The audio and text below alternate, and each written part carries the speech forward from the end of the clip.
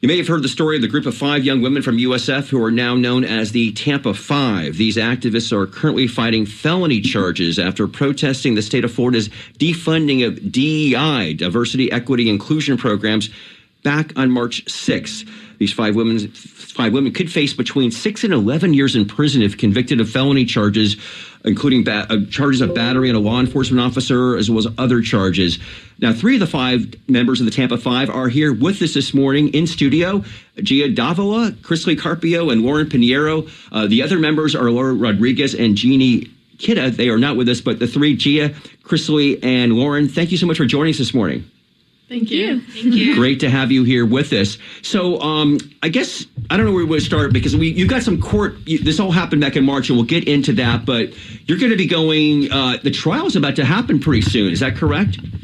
Yeah, so our trial is actually starting on December 12th. That's when jury selection begins, and from there, the trial will begin. Okay, so this is finally going to happen after uh, months of in this in between time after what happened, of course, on March 6th. So I guess let's let's let's talk about that because you know I, I, some of our listeners may know, but many we can't assume people will know. But so let's tell them that the uh, so you you're none of you are at USF anymore, but three of you were students back in the springtime. Uh, and I think this has to do with some of the policies of Governor Ron DeSantis. So one of you just pick it up and just tell us what happened on that date. Sure, yeah, I can tell you a little bit more about it. So, um, we're, uh, me and Lauren are members of Tampa Bay SDS. Uh, SDS called the protest that day. And that's uh, Students for Democratic Society. Yeah, Students for a Democratic Society. We're a national organization, and at the University of South Florida, we were working to increase Black enrollment on our campus. It's like extremely disproportionately low uh, in comparison to like the surrounding area of Tampa.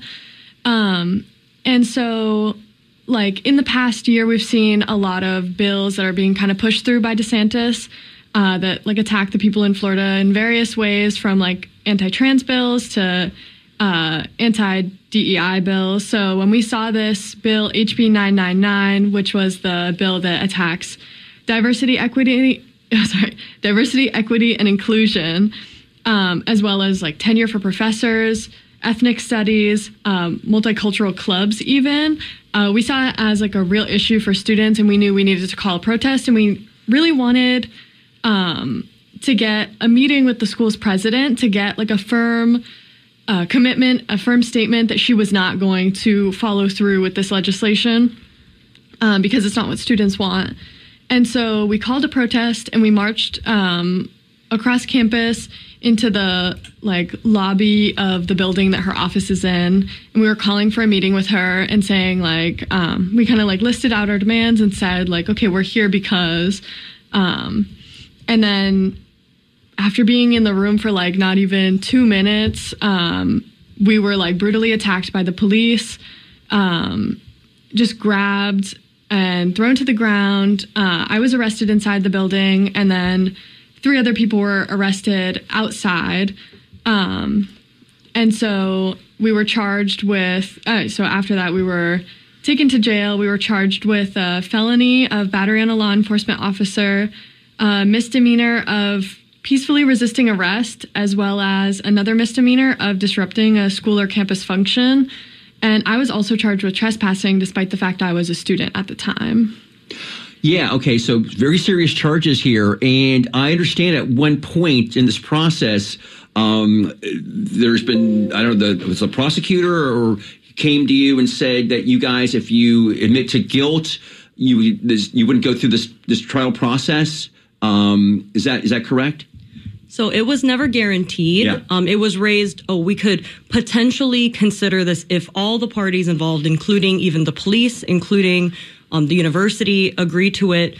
Um, uh, of a potential pre-file diversion and it was never guaranteed. It's like we'll just begin discussing it. But first what you have to do is say you did battery upon law enforcement that um, sds initiated the violence that day and that you're sorry to each of the cops who were there. And these were cops who we had seen attack grope throw students around put them in chokeholds multiple chokeholds. Um, so we said and, and we knew that um, you know this was a violation of our First Amendment rights from beginning to end. And SDS had done nothing wrong that day. In Right. fact, the students actually did the right thing that day. So we said, no, we're not going to write any of these letters. Um, I'm actually a camp, or I was a campus worker. And this um, is Chrisley we're speaking yes. with here, Chris Carpio. Yes. Um, I was a member of um, AFSCME Local 3342. I worked in the admissions office at USF, um, and I had union protections, and um, they had put me on paid administrative leave. So any such letter would have guaranteed that I'd be fired. Right, right. So that's that's very important for the context because I think um, when learning that, that you know because you guys are facing very serious charges here, prison, mm-hmm. and you know the, the idea that if you pled you know guilty or whatever, I guess not whatever, but yes, in the situation here, yeah, you get out of that. So some people were saying like, well, why are they pursuing this and going all the way with this? But obviously, it has very real life consequences mm-hmm. if you were to do that. And if you don't believe that you were guilty of this, then mm-hmm. why should you do this? Obviously, and commit. Yeah. Yeah, and at the same time, the students were also going to, through um, code of conduct hearings on campus where we could have been expelled. Um, so that was also a reason why we didn't want to write an apology letter because if we admit, had admitted admitted guilt on paper, that could have been used against us in these hearings, and we could have been expelled. Right? If we said we did this, we're guilty, they could have easily expelled us uh, because of that. So we had all of this going on in the background where they could have fired Chrisley, we could have been expelled, um, and that was also a big part of why we didn't want to apologize. Yeah, absolutely. Again, we're speaking with three members of the Tampa Five who are facing prison potential prison charges here uh, based on a, an incident happened at USF campus back in March. Uh, you know, I, by the way, I reached out to USF to see if they wanted to make a comment at this point. They did not. Nobody got back to me on that. So here we are. Um, let's see here. Uh, these court proceedings here. So you've gone through obviously so throughout the, the year. You've had. I know you've had some press conferences. Let's talk about though. This has become. Um, and let me ask you this. I mean, so going back to what you said, Gia, you talked about all these policies that DeSantis has done, and he, as we know, as we've documented on the show, and anybody who's sentient has seen, the governor has done a lot of things um, in higher education uh, that had, some people are considering very radical. And where is the pushback? You know, we the, the, the Democrats are very they're a minority, super minority, so they can't really do much, although they fight against that legislatively. So it's on our college campuses. I would think that naturally you're going to see some resistance. I don't know, you know, how much we have seen. This is obviously you are seen to be a visible presence of this. And you have actually, some of you have even traveled now out of the state to talk about this incident, and you you know, talk about that. So you, you, the Tampa Five has become kind of a thing nationally amongst folks who are paying attention to what's going on here in Florida. Yeah, so it's been a really amazing opportunity to get to travel and talk about our case. Um, it kind of started where people were just like inviting us to speak at all these events. Um, and so we decided we we've been organizing around our case ever since uh, we were arrested or charged. And so we wanted to raise our like awareness about our case to a national level because we really see this as a national issue. Like, of course, we've seen how these bills have played out across Florida. Um, since their passing, we're now seeing like the material, um, I don't know, causes of these bills. Uh, but I think people across the country are dealing with the same things, like all through, I mean, just like Texas, um, for example, as soon as there's a bill here in Florida that attacks the people of Florida, there's a copycat bill in Texas that attacks the people of Texas. And so we had a lot of people who wanted us to speak about diversity because they were facing the same struggles at their university. Um, so yeah, and we've had amazing support through this. I mean, here in Florida and to a national level, we've had countless unions sign on, sign petitions to get the charges dropped for us. Uh, teachers hosting us, speaking in high schools and colleges across the country. So it's been a really amazing experience to meet so many dedicated organizers who are willing to fight to make sure that we do not see prison time. How about any elected officials? Chrisley, yeah, go ahead. Yes. So, um, oops. Representative Anna Eskamani has been vocal about our case, um, and we actually also have um, a webinar coming up with Maxwell Frost soon. Um, Congressman Maxwell Frost Yeah. from the Orlando area. Yep. Yeah. Exactly. And I think that's on December 9th. Um, and then on our national tour as well, we also met with um, elected officials in other cities, which was exciting. Um, we met with city council members in Minneapolis. We got the support of even one of the Board of Education members, such as Adriana Cerrillo. Um, Uh, and we've gotten a lot of union endorsements as well. One of the most recent is um, United Teachers of Los Angeles has endorsed dropping the charges on the Tampa Five, and they represent 35,000 um, workers and teachers across um, LA, and we've already gotten the endorsement too of um, West Central Florida here in the Tampa Bay area, and also North Central in North Florida. So, um, as far as elected officials that have been outspoken, I think that is it. But we're hoping to get more, um, and especially if people could send letters to the state attorney as well. I do think it's interesting that uh, you mentioned uh, Frost and Eskamani, who are from Orlando. I'm not hearing anybody from Tampa or Hillsborough County here. No, no, uh, nobody wants to go on the limb there in terms. I mean, in terms of elected officials. We've had yeah. sorry to interrupt. Yeah. We've had a little bit of support here in Tampa. I know Angela Birdsong has been pretty vocal in support of us, and she's the uh, the Black Caucus Democratic Yeah. Hillsborough chair, I believe. Yeah. Yeah, absolutely. By the way, again, uh, we're speaking with uh, Gia Davila, Chrisley Carpio, and Lauren Pinheiro, uh, and we will take some phone calls here. We're here with the, the three members of the Tampa Five for about eleven thirty-five or so. Uh, so we welcome your phone calls at 813-239-9663. Um, It must feel good to have uh, all of that support, but I wonder, are you guys? Um, where's your level of fear? Uh, Does that come up at night when you're trying to go to sleep? Tell us about that. Yeah, I mean, it's definitely scary, right? We are facing five to 10 years in prison. That's a lot to sit with and understand, but truly, throughout all of this, seeing the support across the country has been the main thing grounding us. Um, we can very clearly see through our speaking tour that we did across the country that DeSantis and his policies are unpopular and that people believe strongly in our case. They believe that students shouldn't go to protest, uh, sorry, shouldn't go to prison for protesting, that we have a right to free speech. And so knowing that we have the entire country really standing behind us, showing support, you know, organizing call-ins, bail funds, all of these things for us, that's been the main thing, giving us hope throughout all of this process. Yeah. have you been trolled as well? I imagine. I mean, of course, right? uh, mainly only on social media. I would say in person, there's less of that. Um, but it's easier to hide behind a screen. well, have you learned right. anything about that? About that experience being sort of trolled on social media? Like, who are these people? I mean, for me, I I see that the support we have is bigger than the trolls, and Yeah. so that's what I try to focus on. Um, and I think the movement is more important than just someone commenting one random thing on Instagram, right?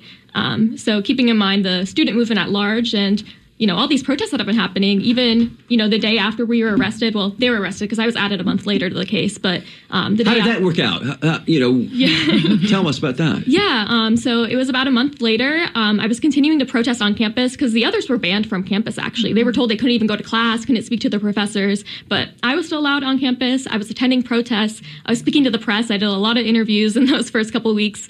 Um, and about a month later, I was sitting in a women's and gender studies class, which I find quite ironic um, in hindsight because that's one of the programs DeSantis wants to shut down. Uh, but I was sitting in class when I got an email from the school um, informing me that they had sent a direct file to the state attorney's office um, and I was being charged with the exact same charges as the um, other four. So Are, are the charges? Are they? They're not all the same, right? Some of you have a little bit different charges, or or are they all the same? They're They are the actually same. Okay. yeah, the same, and but uh, oh, sorry. Did you want to? yeah. I was just gonna say I, I was originally charged with an additional trespassing charge, but it was since dropped. Um, and three three of the five actually have two case uh, charges of felony, uh, so two counts of the felony, which is why they have ten years. Whereas the other two, we just have me and Gia, we just have the one felony count, which Oh, makes just it one five- felony, yeah. right, which makes it one year in prison. Uh, not one year, so far, five years. Uh, let's go. We've got. Uh, uh, let's see a, a phone call here. David from Dade City. Hi, David. Yeah, you want to put your headphones Hi, on? Thank you for having these ladies on. Um, I just feel like uh, you know this country is built on protests, like the Boston Tea Party, and I mean, if these women go to prison, that's like political prisoners, and it's the kind of stuff you know DeSantis is is bitching about with um, you know China and Iran. So I don't know. He's he's he's like a little uh, dictator. Um, I call him DeSantis because he's, he's kind of awful. Okay, yeah, David, appreciate the phone call. So I, I would say this though. I mean, some people who, again, not familiar with the charges, and I don't know how much you want to get into the details, but um, uh, again, what is it in terms of an officer battery on an officer? Is that the, uh, which is a felony charge? That seems pretty serious. I mean, you know, um, uh, so. Uh, that's where obviously you disagree and say that you guys didn't do that, and I guess you're saying that it was more on their part that was being the aggressor. Yeah, they were in you know, our lawyer is saying that in the cases of cops who are using um, excessive force, and in our case, we think, you know, like people being slammed onto the ground and like they don't even, you know, they're like skinny and you know, I'm referring to referring to you, You know, they, their bodies could. Oh, and Lauren too. You know, is tiny.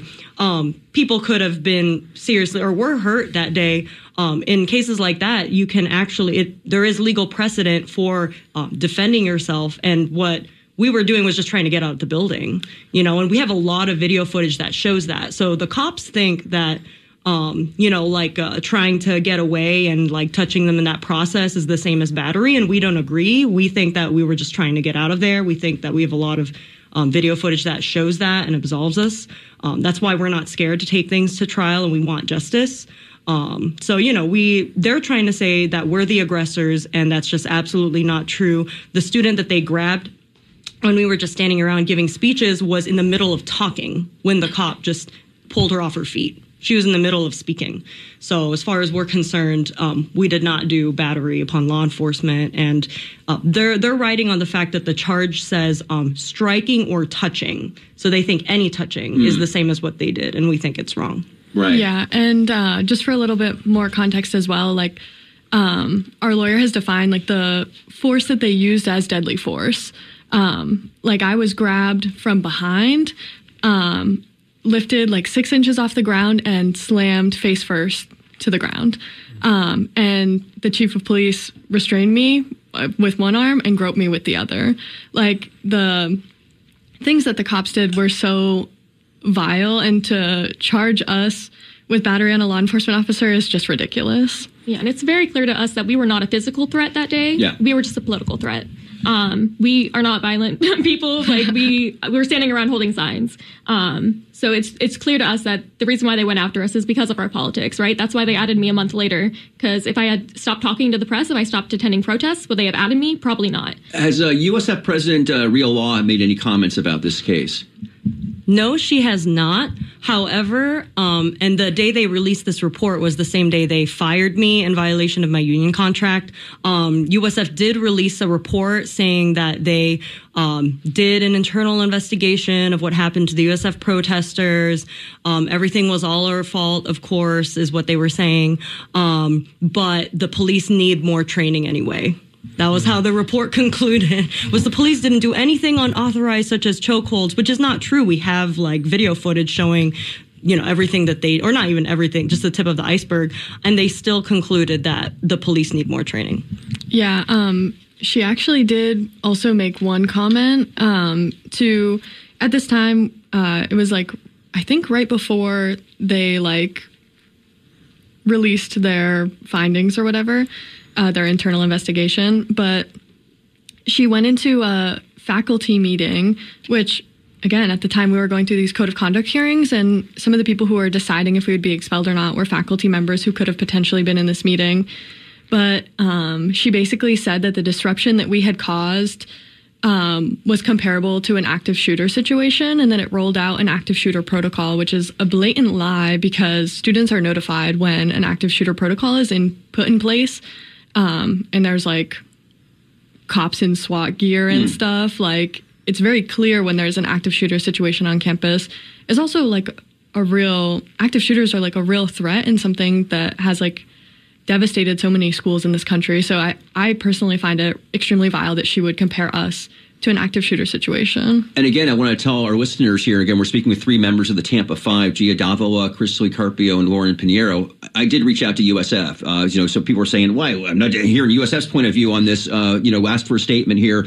I know they released them an, uh, earlier in, during the this whole saga uh, to publications. I guess at this point, as getting near trial, they didn't want to comment. So uh, we do have a listener here who wants to make a comment or a question here. Uh, Joe from Lakeland here on the Skinny here on WMNF. Yeah, hey, good morning. And I want to commend the ladies for their their stance and posture against this oppression, really. And like the caller said before, you know, we're based on protest. Boston Tea Party is a great example. We celebrate that. But uh, police have a long history of filing LEOs, you know, law battery on a law enforcement officer. It's kind of to cover their ass, so to speak. Excuse my language. But um, you guys should file uh, aggravated assault charges on those officers is what I would say that uh, your lawyer should should file those charges individually on those officers. Uh, for Interesting. Have you guys thought about that? Right now, we're focused on getting the charges dropped, so that's our main pri- priority. Um, we just don't want to go to prison, but that's our main. Yeah, and I'd say that would be leverage to get those charges dropped, actually, for you. Thank you for the call. All right, thank, Thank you, you. for the Yeah, thank you. So all this has been really public uh, for you guys, and, and you guys are in a unique situation because the person prosecuting you is also running for uh, is running in an election. And this morning, um, you were actually in the same room as uh, the state attorney Suzy Lopez for the 13th district, obviously um, put in there by DeSantis at Cafe Con Tampa in downtown Tampa. It's an early morning meeting. What's it like to sit in front of the room with her, and and what was the temperature like in that room? What kind of questions were asked um, in there this morning?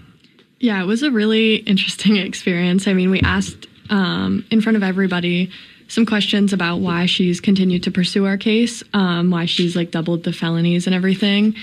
Um, it was a really divided room, I think. I mean, there were people asking really good questions about like, I'm trying to remember uh, some of the specific ones, but you know, there was even somebody who asked her like questions about how how she kind of reconciles with the fact that she was she's not an elected official that she was put in place by DeSantis. And she was kind of like well you know we can see what I've done here in Tampa but you know I don't really know what she's talking about with that statement because look at what she's done to us. I mean normal students we're young people. I mean I'm 22 years old facing felony charges for simply protesting on campus like this is what Suzy Lopez is doing in Tampa Yeah, I mean, this, this is really hardcore. Uh, Have you, I know, again, you're no longer in st- school right now. Are, are you concerned? Uh, You have to be. I, it's kind of a silly question, I guess, but in terms of your future, in terms of your uh, career opportunities here with this, not, I mean, obviously, we'll see how the court situation plays out.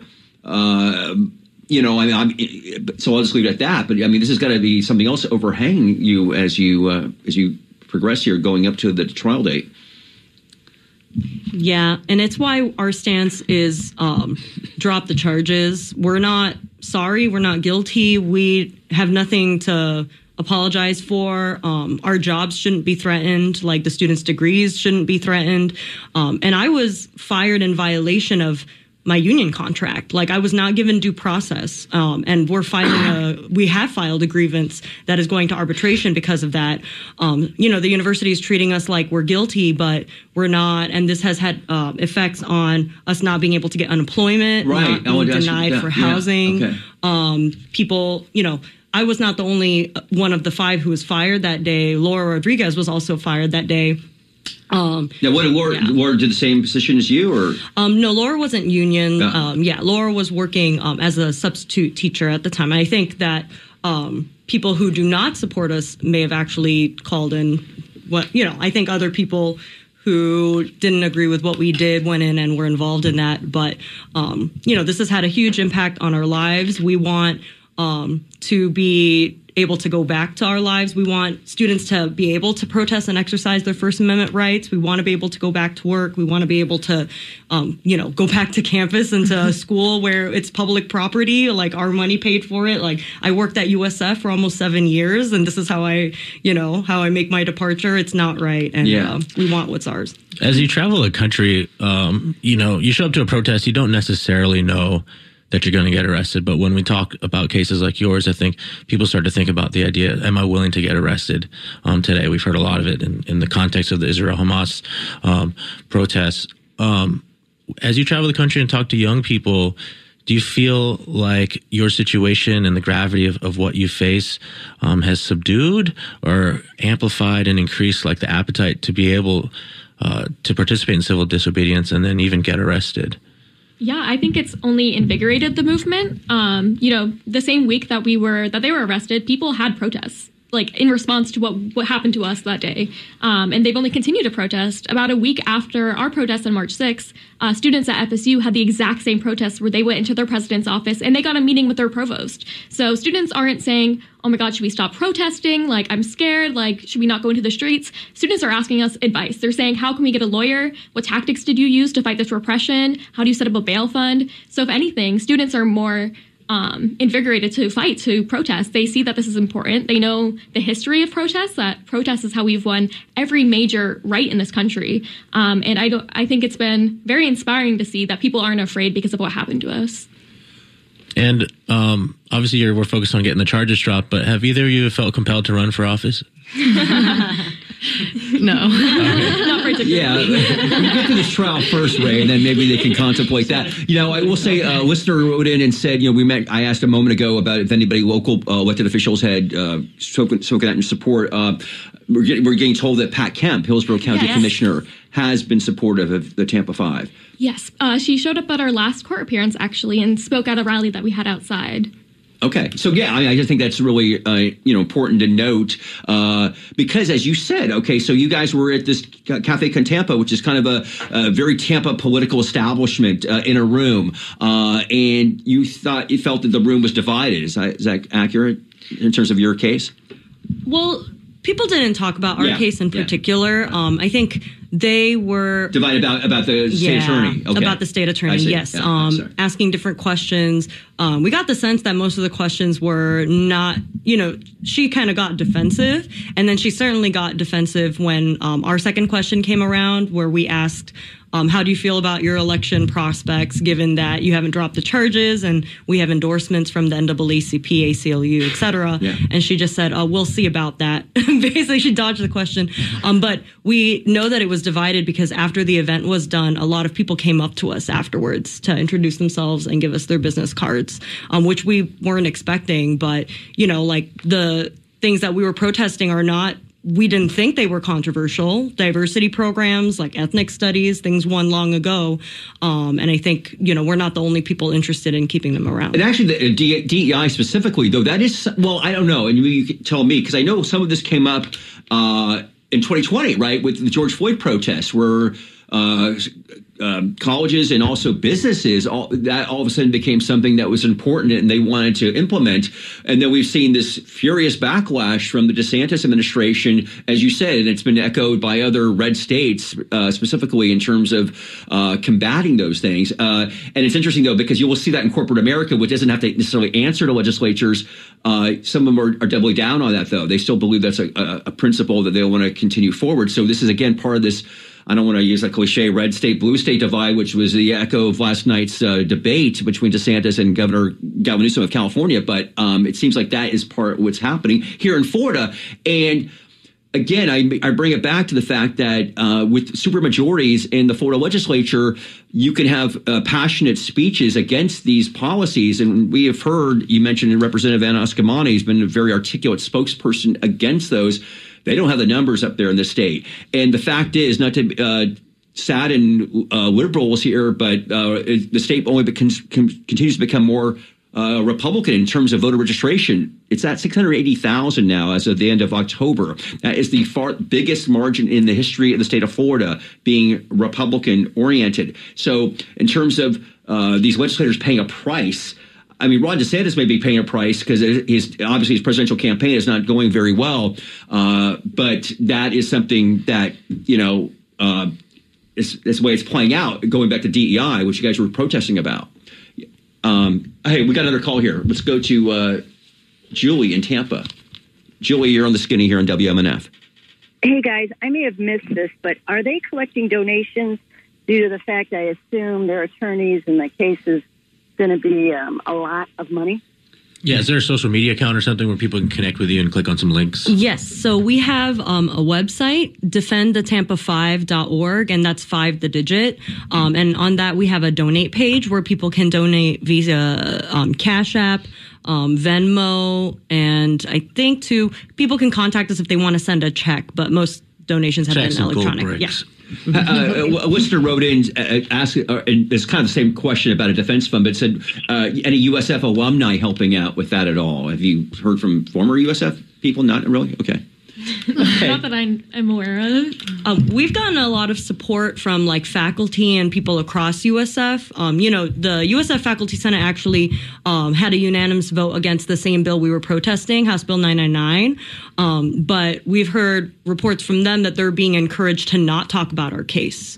Um, you know, like the the students were told you can't communicate with your professors, and they had professors who reached out to them and said, like, I know we're not supposed to reach out to you, but I'm I want you to know that we're here for you. You know, so Yeah. um, I think we have a lot of support, but um, a lot of people haven't been able to come forward. How would this have played out? Let, let's just say the police hadn't rushed you and the president had stepped outside of her office. How would this have played out? Have you thought about that? Yeah, I think uh, it would have played out just like it's played out at like a lot of other universities. Uh, FSU in particular, like uh, we kind of said before, they had like the same action that we had, and they got a meeting with their provost. Um, and like actually come to find out the university president wasn't even in her office that day she had left for vacation early so you know it's really disappointing that all of this these attacks from the police like she wasn't even in her office you know? And you know these attacks on diversity programs diversity programs are so basic. Like we were actually we've been fighting for a long time to improve our diversity programs at our university uh, and to increase black enrollment. And so you know to be like ignored disregarded for so many years at the university while we're you know we're concerned students who care about the student body who really want to make a positive change on campus like we're not hateful protesters like we're trying to make things better for students. Uh, how is that not in the interest of the university president who's supposed to be taking care of students? It's just ridiculous. All right, I think we're going to wrap it up right here. We have been speaking with Gia Davila, Chris Carpio, and Lauren Pinheiro. They are three of the five members of the Tampa Five. They're going to be going to court uh, very soon here in the next few weeks, and the issues that you've been hearing for the last half hour or so, uh, they're going to be uh, defending their lives, so to speak, in terms of their their personal freedom here for the, these protests they had at USF. So, uh, ladies, I want to really thank you for.